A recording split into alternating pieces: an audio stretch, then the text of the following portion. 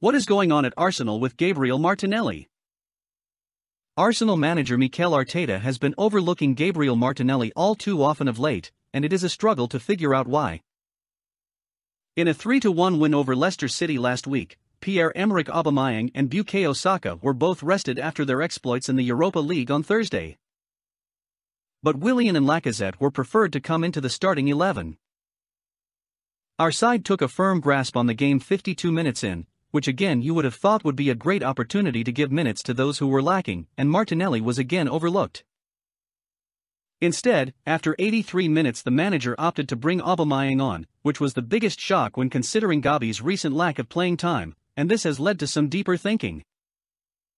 The manager is always banging on about his players need to be showing him in training that they are committed to the cause, and putting in the hard work. Reiterated when speaking about Willian of late.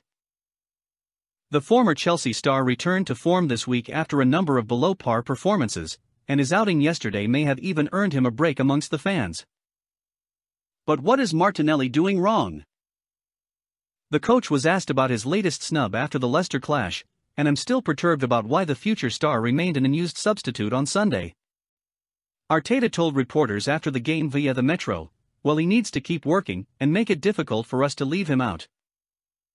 He's a player that is going to give us a lot, but he needs some time. We need to find the right games for him and the right connections for him on the pitch to do what he can do best. But the way he is, the way he trains every day, he's going to be a really important player for us, no doubt.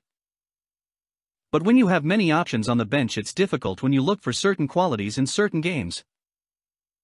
Either we are missing something here, or the manager is simply avoiding using him for absolutely no reason at all apart from because he can.